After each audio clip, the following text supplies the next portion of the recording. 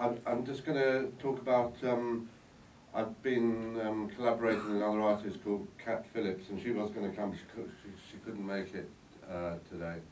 So um, you got the short straw, you got me, you didn't get her. Anyway, we started working together at the, um, just before the invasion of Iraq.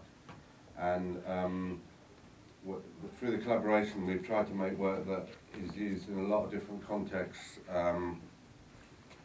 So the, yeah, we've made work in a lot of different ways. I'm just quickly going to go through because it, all, all the work we do has been strategies for how you respond to the um, or how we responded to, to the war in Iraq, and a, lo a lot of it came about through our frustration. You know, we went on the big march, like most of you, went on other little marches, and then and then there wasn't activity in between that much.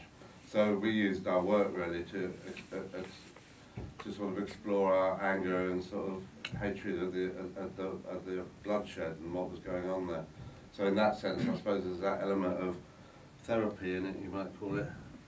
Um, so this was the this was, this is the first stuff we did, which was based on the idea of a medal. It's a set of uh, prints, and and they were quite uh, abstracted.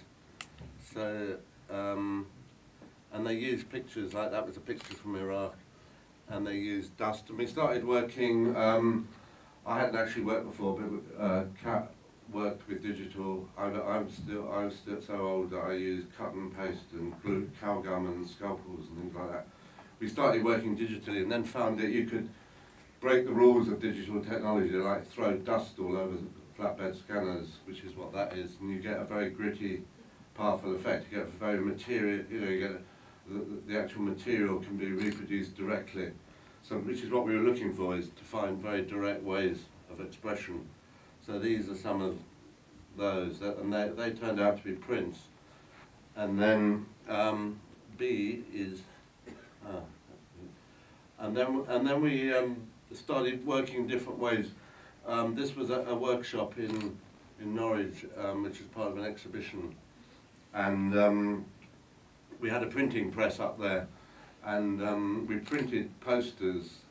we managed to we, we managed to get sponsorship from Hewlett Packard, um, who thought that they could use it as part of their PR, and they realised what we were doing, and of course we, we, they didn't actually use it, surprise, surprise. But, but we printed stop anti-war posters through the night, even when we weren't there, on this enormous machine.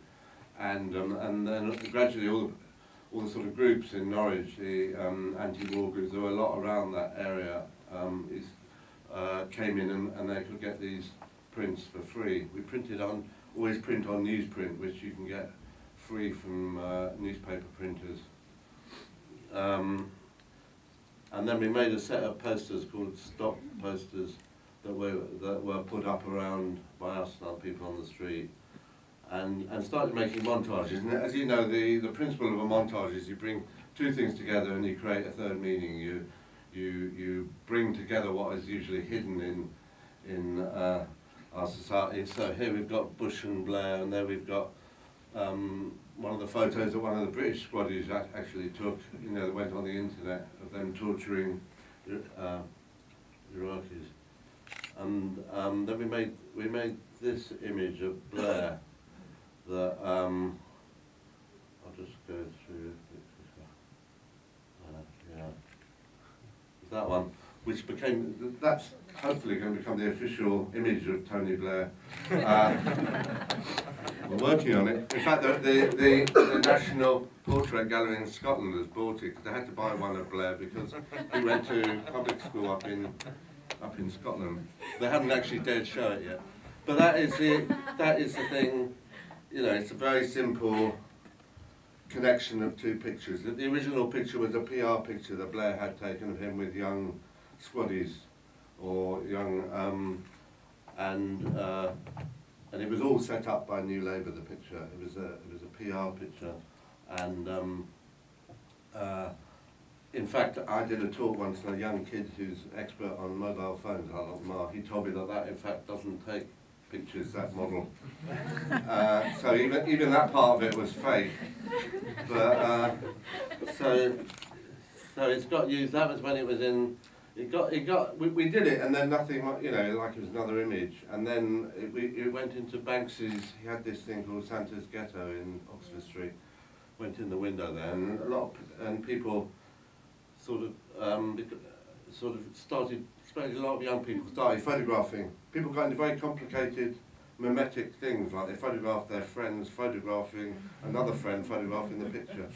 So it's got that sense of involvement in it, and it just seems to, and then and then it went into magazines. This is some of the uh, magazines, and then it's that, something like that was great because that's the British Medical Journal, and they used it for an article about the National Health Service, which Blair had started to destroy.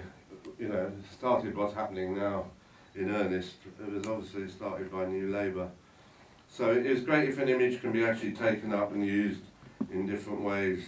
And then some advertising man said it was the, the image of the year a couple of years ago. Um, and um, that's in the Guardian. And then, then Stop the Wars used it quite a few times for conferences and things. And then that the arrest Blair, unfortunately, that hasn't succeeded yet, but we're working on it. Um, so yeah, so it's been used in a lot of different ways. And um, as well as doing that work, we, we've done this sort of work which is very big and rough and uh, tries to uh, communicate through material the, the horrors of Iraq. Obviously it's completely, there's no way of doing that. There's, but it's trying to make the, the actual material not just a flat photographic surface, but uh, very rough. So we, we put photos down and bash them up like sort of uh, papier-mâché so the pictures explode and it's got a sort of physicality about it. Um, you can see that's like a detail of it. They're very big things.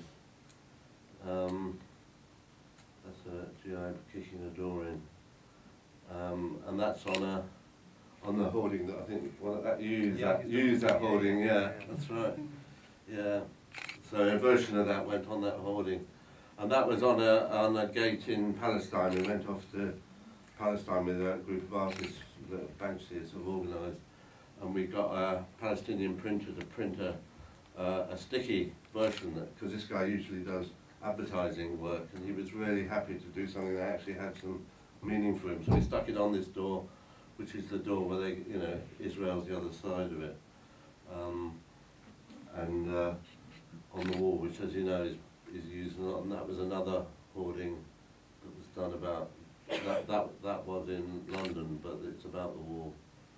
And that was one in uh, So the hoarding, you know, the way, very different way from what you're using it, but obviously it's a fantastic form of communication. And this is, I suppose, what we're doing is, is traditional. What you're doing is something very new, I think, you know, to actually use it in that way.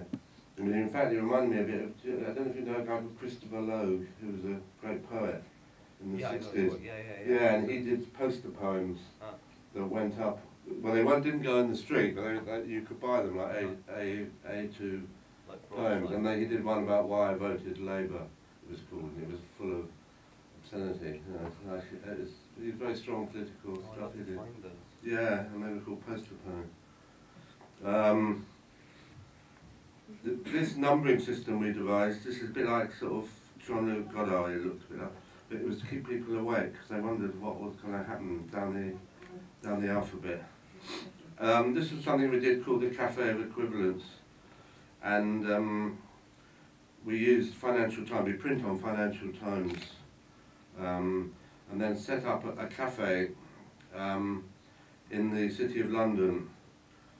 That's Cat who I work with, um, and we gave people soup but we said the soup was 112 pounds 80p or something, which is the equivalent um, percentage of a banker's salary um, to what someone in uh, a, a, a, woman in Africa who's um, trying to feed her family and is using 70% uh, uh, of her income on food. So I mean, it's quite complicated to explain, but I mean, the idea was to set up a debate with the banking community. And, and we did actually give out soup. We, we didn't actually take any money because we weren't allowed to anyway. It was symbolic. It was a way to explore the contradiction between the poverty of um, of most of the world and the, the riches of the City of London. So the images printed on them are of um, poverty from Africa and India and Thailand and different places. And that's me sort of frightening bankers. They, most bankers, they did actually take soup from cat. They thought I was trying to poison them for some reason. So they didn't. And, and that's and it got taken up very strangely by the Design Museum, who have this thing called 100 Designs of the Year um, international thing, and they took it as a Design of the Year, this cafe, which was strange, but it was good because it, the place was full of very expensive cars and things like that, and then you got this thing that there's no way anyone could look at it and not see the root of our um, uh, of our sort of capitalism and consumerism, but you know where it all comes from, because that's what we put onto the newspapers. Um, and this was one we used, uh, the Chilcot report, which is printed on it. Was a series. I won't go into that a bit, but it, was a, it was an exhibition of burnt boards with the Chilcot report uh, stuck onto it. So we stayed with the Iraq and tried to find ways to express it.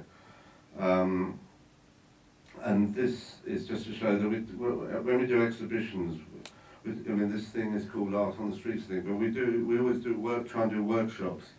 And we did some in, in Glasgow with a group of kids off uh, uh, from a, a youth club on the estate. And um, uh, you can see some of them there. It was amazing what they did. They had uh, seven hours in the place and they produced because we had the we had a scanner and we had magazines and they had all their material on them. They they they totally got into the idea of making montage of, combining stuff that they they were wearing, like some of their they had bits of jewelry and stuff, t-shirts, and then combining that with images from magazines. And actually, it's an amazing way to set up a dialogue. Um, and this was someone that you can see that's like the guy how he portrayed himself in the with imagery. And this was done, as I said, it was only a seven hour. They were brought in a coach and they whizzed around. The energy they had was unbelievable um, in this gallery in, uh, um, I've forgotten the name of the gallery in Glasgow, isn't it? It's a photographic gallery. Really good. They do a lot of good projects. Can't remember what it's called. Yeah, that's where it is. And then at the end of the day, we put them up Street level, yeah. We did a show there, and that, this was.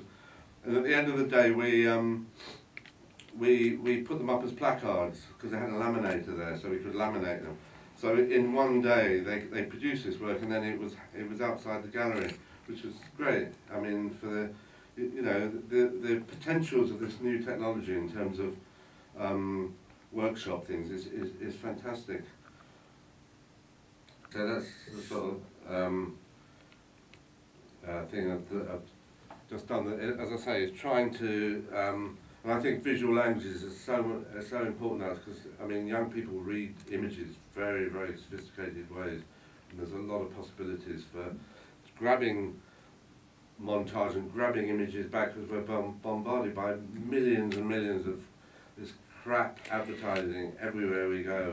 We're, we're being bombarded with this imagery, and I, I feel it's very important that we actually use imagery to fight back.